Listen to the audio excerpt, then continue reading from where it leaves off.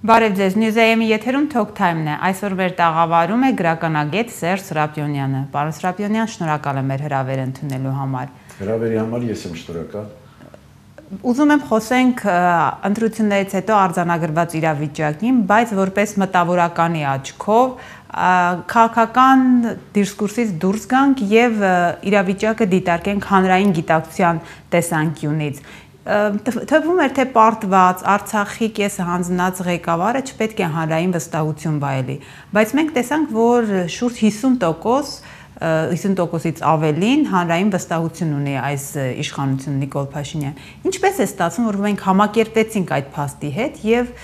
ընտրեցինք այսպիսի ղեկավար։ Մի անգամից ասեմ, որ մտավորականների շարժում կար, ցայն հերինաց հիմա էլ կա եւ մենք ընկերներով հավաքվել ենք այդ հարցը քննարկել ենք մեզ համար էլ էր զարմանալի, որտեղ ակնկալիքները մի քիչ այլ էին, եթե կուզեք մենք նույնիսկ համոզված էինք, որ տոկոսների նման բաշխումը պիտի ներ հակառակ ուղղվածությամբ։ Եղավ այն ինչ եղավ, ես չեմ ուզում խոսել ընտրա խախտումների մասին, որոնց մասին բավականաչափ լուսաբանումներ եղել են, Ես չեմ ուզում խոսել Եվրո եւ ԱՊՀ երկրների դիտորդների անատամ հայտարարությունների մասին, որը եղել է 10 տարիներ շարունակ, այդ նույն խախտումները առանցին դրսևորումներ մենք խախտումների ունեցել ենք նաև այլ ընտրությունների ժամանակ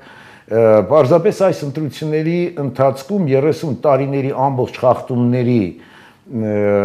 այսպես ասեմ զինանոցը կիրառվեց Ես նույնիսկ հանում եմ խախտումներով ստացած ձայները, ելի բավականաչափ ձայներ ստացել են, բայց դուք տեսեք շահարկումը որտեղ է արդեն սկսեցին նորից Ժողջանի անունը տալ, ժողովուրդը մեզ ընտրել է, մենք ժողովրդի ընտրյալներն ենք, ժողովուրդը մեզ վստահում է եւ այլն։ Իրենց իս տված թվերով, որը իհարկե մանիպուլյատիվ թվեր էին, որոնք 2.5 միլիոն ընտրողներ մենք ունենք։ Ուրեմն ցանկացած երկրում 2.5 միլիոն ընտրողներին պիտի ավելացնես եւս 25% բնակչություն Եթե կա մեկը, որ կարող այսօր ինձ ապացուցել, որ Հայաստանում 3 միլիոն ու կես բնակչություն է ապրում, կամ 3 միլիոն 200 հազար, մեր վիճակագրությունն էլ այդ թիվ չի արձանագրել։ Ուրեմն ես այդ абսուրդին կհավատամ։ Ըստ էության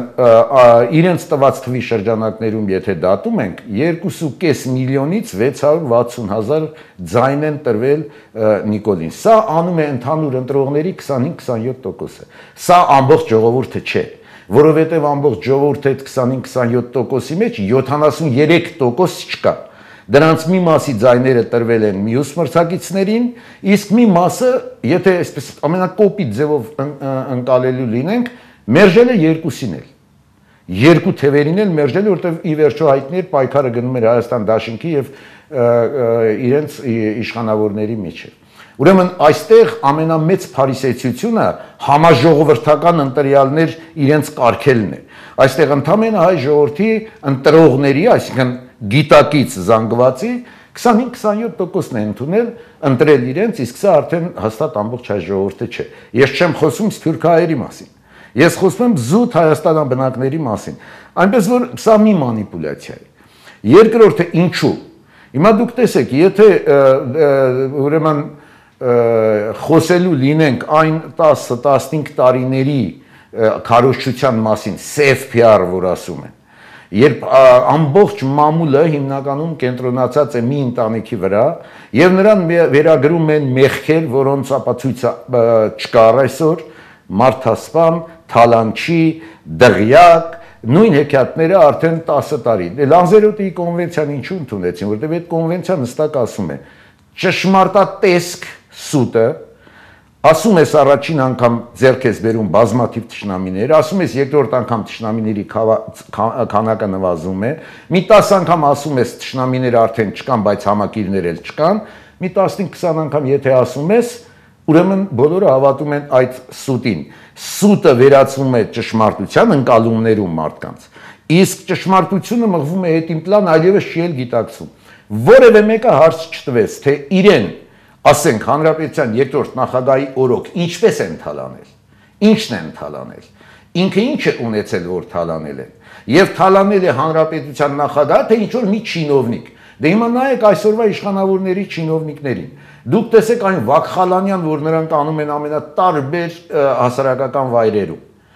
Հիմա թող դնեն համեմատության եզրեր անցկացնեն։ Ի վերջո բանականությունը մարդուն տրված է փաստերը համադրելու եւ եզրահանգումներ անելու համար։ Հիմա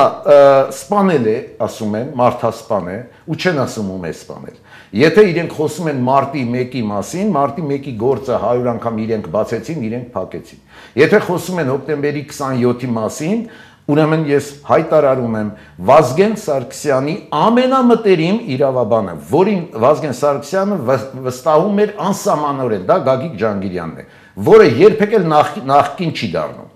Ինքը նախանախկին է, բայց այսօր նորից թամբի վրա է եւ ընդ որում ես շատ լավ գիտեմ թե ինքը ինչ բարոյական մակրություն ունի, ես նկատի չունեմ ինտիմ կյանքը, այլ նկատի ունեմ իր մասնագիտական բարոյականությունը, ինքը պիտի հիշի մեր մի հանդիպում, երբ ինքը զինդատախազ էր, մարդը մի անգամ հայտարարեց, չէ, որ հոկտեմբերի 27-ի մասին ինքը կխոսի, երբ չլինի պետական պաշտոնյա։ 10 տարի չեղավ պետական պաշտոնյա, ավելին պիտի ասեմ, երրորդ նախագահի օրոք նրա նկատմամբ տեղի ունեցան կարծես թե հալածանքներ, նույնիսկ ձերբակալվեց, բա ինչու որևէ փաստ չասեց հոկտեմբերի 27-ի դատաքննության ամենափաստերի ամենամեծ տիրապետող հենց Գագիկ Ջանգիրյանը պիտի լիներ ի պաշտոնե։ Չի ասել։ Հիմա այ հոկտեմբերի 27-ը ոչ ուղղակիորեն, բայց համայն դեպս ասում են վերագրում են հանրապետության երկրորդ նախագահին։ Տրամաբանորեն ես դա վերագրում եմ հանրապետության առաջին նախագահին, նույն Նիկոլ Փաշինյանին, նույն Գագիկ Ջանգիրյանին եւ մնացած բոլորին։ Մեկ է վերագրում են առանց փաստարկման, ես էլ կարող եմ, ինչու այդ իրավունքը չունեմ ես։ Իրենք ունեն, ես չունեմ, ինչ երկակի ստանդարտ է։ Եթե չի բացահայտվել մարդու հանցանքը, իրենք են գրում։ Ամեն օր նայեք, եթե որևէ մեկի հանցագործության մասին հերոստատեսա մի բան գրում են, ասում են, ենթադրյալ հանցագործը հանցագործ չէ,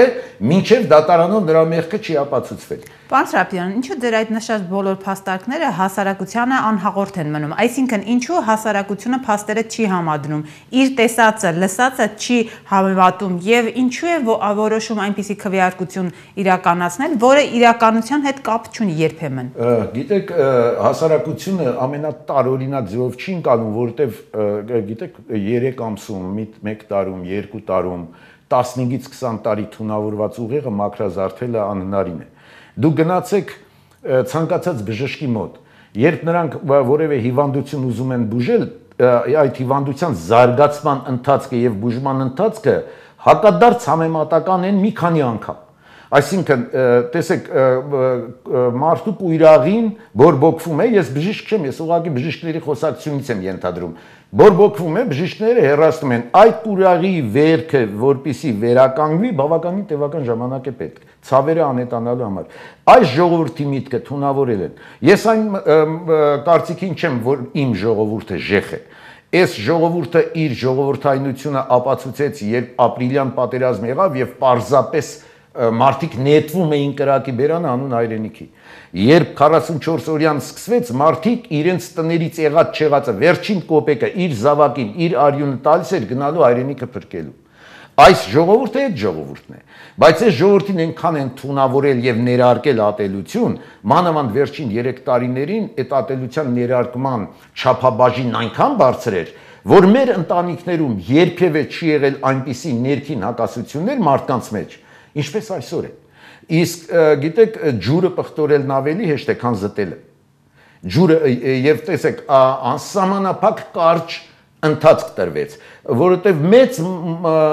մանիպուլյատոր է Նիկոլ Փաշինյանը։ Տեսեք, դուք հիշում եք 18 թվականին նա հասկացավ, որ ժողովուրդը էյֆորիայից դուրս է գալու, ընտրությունները պիտի լինեին 19 թվականի մայիսին, միանգամից ձեռնափայտի օգտագործելով ժողովրդի սպասելիքների էйֆորիան, սպասելիքների ժողովուրդներ ոչ չէր տեսել։ Բերեց հար, հարմարեցրեց դեկտեմբերին եւ այդ 6 ամիսը ինքը շահեց, երբ էйֆորիայի ժողովուրդը դուրս կգար եւ արտահերտ ընտրություններ արեց։ Նույնը հիմա արեց։ Նա շատ լավ հասկացավ, հասկացավ, որ 44 օրյայից հետո Զանգեզուրի կնճռոտ խնդիրներից հետո մեր սահմաններում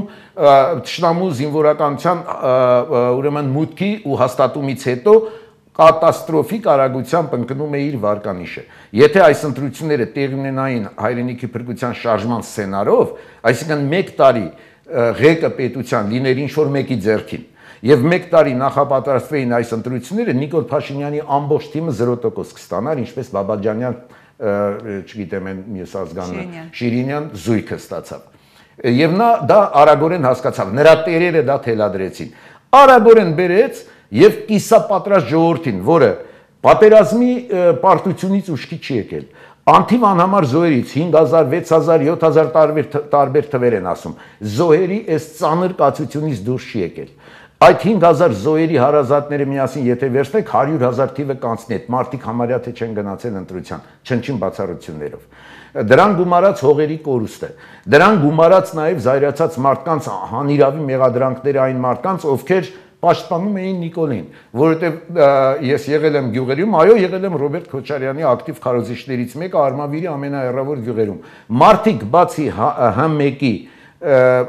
ծամածռած ճշմարտություններից, որտեղ ուղղակիորեն պետական պատվեր են կատարում կամ պետական այրերի պաշտպանության պատվեր, ուրիշ որևէ լրատվություն չունեն։ Բագարան գյուղում մարդ կար, ինձ ասում էր բեր ապացի, որ շուրնուխին կպած ադրբեջանական դիրքեր կան։ Դուք պատկերացնում եք, Այսինքն ինքը շատ լավ հաշվարկեց ժամանակը եւ այն 25-27%։ Այսինքն երբ հիմա շատ է նաեւ այդ բառը օգտագործում, որ հանրությունը մոլորված է, հանրության զգալի մասը մոլորված է։ Ես կասեի ինֆորմացված չէ այ արդյոք ինֆորմացիան հիմա համացանցը շատ լավ աշխատում է, համացանցով բոլորը կարողանում են լավ իրազեկվել, բայց արդյոք խնդիրը իրականում հանրության գիտակցության մեջ չէ, չէ՞ որ հանրային գիտակցությունը ինչ որտեղ երևի ինչ որ բան փչացել է կամ մարդիկ ինչ որ խնդիրներ ունեն այդ առումով։ Ճիշտ չեն գնահատում իրավիճակը։ Գուցե քաղաքականության խնդիր չէ, քաղաքական դեմքերի, այլ հանրային գիտակցության ձևախեղման մասին է խոսքը։ Ես իմ նախորդ մտքում արդեն այդ բանը ասացի, նախ այնպես չի որ 100% բնակչությունը օգտվում է համացանցային համացանցից եւ երկրորդ համացանցային ճշմարտությունները շատ դժվար է համարել օբյեկտիվ ճշմարտություն, որտեղ այդտեղ ավելի շատ կարծիքներ են, հաճախ իրար հակադիր, հաճախ նույն փաստի վերաբերյալ տարբեր մոտեցումներ, հաճախ խեղաթյուրված փաստեր, եւ դուք պատկերացրեք ամբողջ օրը իր հողի մեջ տարապող գյուղացին, որի հիմնական կենտրոնաձիգ միտքը ջուրը իրեն կհասնի, որ ջրի իր բերքը փրկի, հանկարծ կնստի այդպիսի անալիզ կանի կամ կքննարկի կամ կուզենա գալ ճշգրիտ եզրակացության։ Նրան պետք է մատուցի պատրաստի ինֆորմացիան անբեկանելի ճշմարտության տեսքով եւ իրենք մատուցեցին։ Այդ է պատճառը, որ ես կարծում եմ բնակչության մի զգալի մասը այո, խորը թմբիրի մեջ է։ Եվ երբ այդ բնակչությունը, ինչպես ես ասացի, ջրի խնդիրը նրա համար կենսականորեն ավելի կարևոր է, քան նույնիսկ թողներվի ասել Ղարաբաղի գոյության չգոյության խնդիրը։ Եվ երբ այդ մարդիկ հենց կկտրվի իրենց ջուրը, կամ տեսեք Վարդենիսում, նաև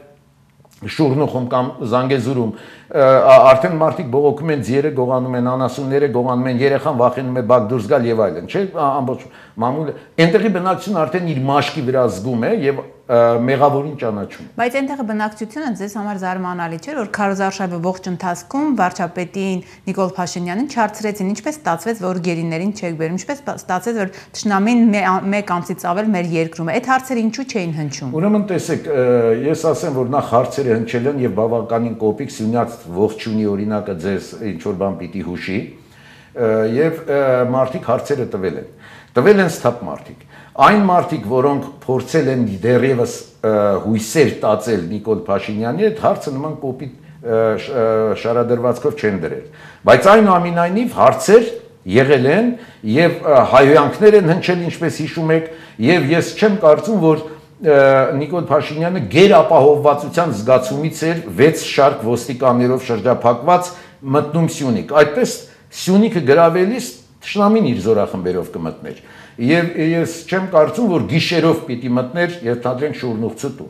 Սա նշանակում էր, որ այո, Նիկոլ Փաշինյանն անամատ ավելի ինֆորմացված է, քան հիմա ես ու դուք, որ նստած խոսում ենք այդ մասին։ Ես կարծում եմ, որ ամենևին էլ ճշգրիտ պատկերը չէ Սյունիքում Վարդենիսում եւ սահմանային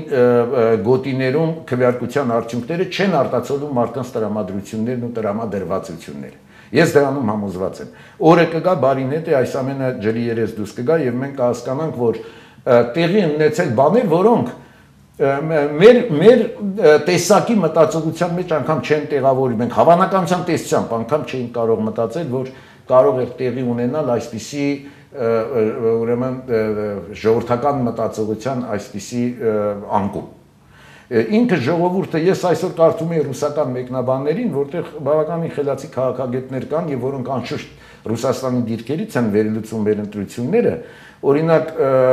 Սատանովսկին ուղղակի ասում է հայերը իրենց պետականության վաղճանի ընտրությունը կատարեցին եւ նա ասում է նույնիսկ ոչ թե գուբերնիա կդառնա Հայաստանը եւ ես հավատում եմ այդ հմուտ քաղաքական գործին այլ պարզապես Հայաստանը կդառնա աստված գիտի վիլայեթանման ինչ որ մի բան եւ ես չեմ էլ կասկածում ես նույնիսկ ամսաթիվը կարող եմ ասել բայց ընդհանուր ասեմ սեպտեմբերին կստորագրվի մի փաստաթուղթ այս կառավարության կողմից որը սառը ցնցուղ կդառնա բոլոր նրանց համար ովքեր իրենց ձայնը տվել են Նիկոլ Փաշինյան Բայց դա ինչ որ պահի կստափեցնի հասարակության եւ ինչ այդ շրջանում արդեն ինչ կարող են կանել։ Անկեղծ ասած, ես շուտ հուսահատվող մարդկանցից չեմ, բայց պիտի մի դաժան միտք այնուամենայնիվ ասեմ։ Եթե այդ դրանից հետո էլ չհիասթափվի այս հասարակության մի զգալի հատվածը, ուրեմն կմնա բանը նրան, որ մի օր ինքը կհասկանա, որ իր տունը առանց իր գիտության վաճառված է ինչ որ չգիտեմ ինչ օղլու օղլուի, որովհետև այդպիսի մարդիկ իրենց հայրենասիրությունը սկսվում եւ ավարտվում է իր կնոջ անկողնում կամ իր պատերի ներսում։ Այդպիսի հայրենասեր բոլոր ժամանակներում եղել են, որոնք զարմանալի թեթևությամբ փեշերը թափ տալով երկիրը թողել գնացել են ուրիշ տեղ են ապրել, ավելի հետո նրանց ծերունդները խոսել են իրենց բնակության երկրում իրենց papերի տարապանքի եւ աշխատասիրության մասին։ Ես պիտի մի փաստ արձանագրեմ, տեսեք 1894-96 թվականի ջարդերից հետո Արևմտյան Հայաստանը լքեց շուրջ 600.000 մարդ։ Դրանք այն մարդիկ էին, որոնք հազար թելերով իրենց երկրին կապված չէին եւ նրանք չզոհվեցին։ Նրանց սերունդները այսօր կազմում են այսպես կոչված դասական սփյուռքը մեծ մասը։ Հիմա այդքան էլ հայեր լքել են Հայաստանը, ում օրոք կարևոր չի։ Դրանք մարդու են տեսակն էին, ում օրոք էլ ուզում է լինել, նրանք լքելու էին երկիրը։ Բայց հիմա արդեն ես ես հավատացնում եմ, ես ունեմ բավականին մեծ ընկերների, հարազատների շրջապատ։ Դրանց 100-ից 90-ը մտածում է արագորեն սահմանները բացվի ինքա երկիրը լքի։ Եվ եթե երկիրը մնա 800.000 շատ լավ այսօրվա Պյուրոսյան հաղթանակ տոնողների համար եւ շատ ված երկրի հետագա ճակատագրի համար, որովհետեւ մենք կդադարենք որպես երկիր գոյություն ունենալուց։ Ներողություն եմ խնդրում ասորի ժողովրդից, բայց մեզ շատ մոտ ժամանակները սպասում է ասորիների ճակատագիր տարիներ մի քանի տարի առաջ, 3-4 տարի առաջ, եթե ինչ որ մեկ ասել հողերի հանձման մասին, շատ կոշ դիմադրության, չգիտեմ, հայրենիքի դավաճան կանվանեին բոլորը հանրային քննարկումներում։ Բայց մենք հանձնեցինք Արցախի 75%-ը, տվեցինք փաստաթղթեր, այդ նոյեմբերի հայտնի փաստաթուղթը ստորագրվեց, ձեր ասած Զանգեզուրը վտանգի տակ է, Իսկ այդ ընտրությունները կարծեք թե այս ամեն ինչից դուրս դրվեց, այսինքն մեր հասարակության թեկուս 25%-ը համաձայնվեց, որ այո, մեզ համար Արցախը գուցե բեռ էր։ Դուք անշուշտ տեղյակ եք, որ այսօր ընդամենը Վանաձորում 1 ընտրատեղամաս են բացել, որտեղ 100 քվեին մոտ Ռոբերտ Քոչարյանի քվեները չեն գրվել արձանագրության մեջ, չեն գրվել։ Այդպիսի խախտում ընտրությունների մեջ այսի մեխանիզմի ես չեմ հանդիպել, որովհետև եկել է ընտրակեղծիկների կնքահայրը Գագիկ Ջանգիրյանը եւ նա նրա ուղեղը կարող էր մտածել այսի բան եղել է այո քվեարկել են այո արձանագրության մեջ չկա կենտրոնական ընտրական հանձնաժողովը արդեն չգիտի այդ մասին հիմա սա ընդամենը մի դեպք բայց ես նորից շեղվեմ ընտրակեղծիկներից Երբ քո երեխան գնում էր Ղարաբաղ, անկեղծորեն խոստովանենք 100-ից 90 ծնող անհանգիստ էր Ղարաբաղում տեղ ունեցող իրադարձից, որտեղ այնտեղ ավելի մոտ էին ազերիները, այնտեղ ավելի հնարավոր էր հարցակումը եւ նույնիսկ երբ հարցակումներ էին տեղի ունենում, ասենք Տաուշի մեր սահմանամերձ գյուղերում, մենք դրան այնքան էլ կարեւորություն չէինք տալիս, ինչքան Ղարաբաղում։ Եվ երբ հայտարարվում է, որ հանուն ոչնչի զոհվեցին Ղարաբաղյան շարժման մեր հերոսները, Սա դառնում է Լանզերոտի օրենքով պատուհանով մի միտք, որը սկսում է ծանվել ժողովրդի կողմից։ Այդ միտքը որոճացողները դա անընդհատ տետում են ժողովրդի մեջ։ Եվ գալիս է մի պահ, երբ մայրը ասում է թքած ունեմ Ղարաբաղի վրա ներողություն Ղարաբաղցիներից եւ Ղարաբաղի հայ բնակչությունից առհասարակ, իմ տղան թող Հայաստանում ծառայի Ղարաբաղում չզոհվի։ Անմիջապես պատերազմից հետո մեր տղային սպանեցին մեր իսկ սահմանի վրա։ Սա նույնպես չստափեցրեց, որովհետեւ տերաստված ների իմ մեղքերը, որտեվ այդ զոյրը 1-ը, 2-ը, 3-ը, երբ որ դառնան 4-ը, 5-ը, նոր այդպիսի ծնողները կհասկանան, որ տարբերություն չկա, սահմանը պահելիս նաև արյուն է տրվում։ Եվ նաև չզարմացան, որ քո երկրի ներսից ճշնամին ոչ թե դու գնացել ես խախտել ես ճշնամու սահմանը քեզ ձերբակալեն, եկել է քո երկրից քո զինվորին ստորացնելով ոտքի հարվածներով քացի քացիների տակ տալով, ինչպես ժողովուրդն է ասում, վերցրին 6 հոգի տարան եւ խառնեցին մեր գերիներին։ Հիմա տեսեք, ինչ նրբին մեխանիզմ կա։ 15 գերիների դիմաց տվեցին ուրեմն գրեթե 10 միլիոն դոլարի գաղտնիք, որովհետև մի ականազերծումը 10000 եվրո էր արժենում 100.000 ականապատ դաշտը քարտեզը տվեցին ազերիներին, որ շատ հանգիստ գա, դրա դիմաց ստացան 15 գերիներ, որոնցից 6-ը տարվել էին մեր իսկ երկրից, պատերազմից հետո, եւ մնացածները էլի պատերազմից հետո, հրադադարից հետո 62 հոգու, կթե 52 լավ չեմ հիշում մատիվը, մեր գերիներին վերցրեցին տարան 62 հոգու։ Հիմա իրենք ավելի շատ սկսեցին մամուլով տարածել 15 գերիների վերադարձի խնդիրը, որում հատուկ ժամանակահատվածի համար ընտրություններից առաջ եւ ժողովուրդը այս դեպքում կենտրոնանում է մի փաստի վրա մոռանալով նախորդը եւ մոռացան որ մենք մեր թիկունքը մերկացրել ենք ճշնամու մտրակի առաջ տալով ականապատ դաշտերի քարտեզագրումը որը որի դեպքում 100 միլիոն եվրո շահում է Ադրբեջանը, շատ արագ ականազերծում է այդ դաշտը եւ ունենում է անհամեմատ ավելի ռազմավարական մեծ վերահսկողություն մեր իսկ մնացած փոքրիկ հատվածի վրա։ Ես մռայլ կանխագուշակում ունեմ։ Ղարաբաղը որպես տարածք հայկական ուրեմն բնակ հայկական տարածք առաջիկա 5 տարում այլևս գոյություն չի ունենա թող ինձներ են Ղարաբաղցիները, բայց եթե Ղարաբաղում 30 տարի ապահովված բանակով մենք ունեցանք 150 հազար բնակիչ կամ 160 հազար բնակիչ, հիմա ունենք մի 40-50 հազարը, այդ 40-50 հազարը կենսական գոյատևման որևէ հիմք չունի եւ նա լքելու է գնա կամ Հայաստան լավագույն դեպքում իսկ ավելի օբյեկտիվ դեպքում Ռուսաստաններում դու ամեն օր կհանդիպի Ղարաբաղցու Ի վերջո ելք կա իրավիճակից։ Այո, ելք կա, ես հավատում եմ։ Լաբիրինթոսի վերջում լույսը ո՞րն է։ Թունելի ներողություն, լույսը արդեն եղել է այն որ համատարած ատելություն էին սերմանել հանրապետության երկրորդ նախագահի նկատմամբ եւ ինքը հարցազրույցներով բանական ուղեղներին արտնացրեց, շփոթությունից հանեց եւ ես ձեզ ասեմ անպայման առաջընթաց էր ընտրություններին այն տոկոսները, որոնք վաստակեց երկրորդ նախագահը իր դաշինքով, սա նշանակում է սկսվել է հյուսային սառության օվկիանոսի հալոցքը։ Եվ աշճանաբար այսբերգները կհալվեն եւ կլցվեն օվկիանոսը։ Եւ ելքն այն է, որ նախագահը շատ հստակ ասաց, որ կվերցնեն մանդատները, ինչին ես կողմ եմ, այդ մանդատները կդառնան լրացուցիչ գործիքակազմ այս իշխանությունների իրական ճշմարիտ դեմքն ու ստամոքսի պարունակությունը ցույց տալու համար եւ ժողովուրդը արագորեն կհասկանա, որ ինքը հերթական անգամ սխալվել է, որովհետեւ ես հավատում եմ Չերչիլի մի արտահայտությանը. դեմոկրատիան ստեղծված է հիմարներին խափելու համար իշխանությունները պիտի լինեն ինքնակալական եւ ինչու ոչ մի քիչ էլ պիտի լինեն խիստ օրենքների խստությամբ եւ պետությունը կմնա անսասան Սա է ամբողջ ճշմարտությունը, իսկ մենք հիմա բռնել ենք կեղծ դեմոկրատիայի ճանապարհը եւ հազար ներողություն եմ խնդրում բոլոր ցանկացած զբաղմունքի տեր մարդկանցից, բայց օրինակ, եթե ինչ որ մեկը ամբողջ կյանքում զբաղվել է ասենք մեհմանդարի, ես դիտավորել եմ այդ անունը ասում, շուկայից կանաչին 100 դրամով առնելու եւ Երևանում դա 150 դրամով վաճառելու, նա ժամանակ չունի կարդալու եւ լրատվություն վերլուծելու։ Նրան ինչ պատրաստի մատուցում ես, նա այդպես էլ մտածում է։ Ոչ թե որովհետեւ հիմար է, այլ որովհետեւ այդ մարդը չունի դրա ժամանակը։ Մտածելու ժամանակ ունեն մտավորականներն ու գործիչները։ Եվ երբ նրան մատուցում են, որ ես մեկը պուպուշ է, ներողություն ոչ եթերային բառի համար, ես մեկն էլ քխ է,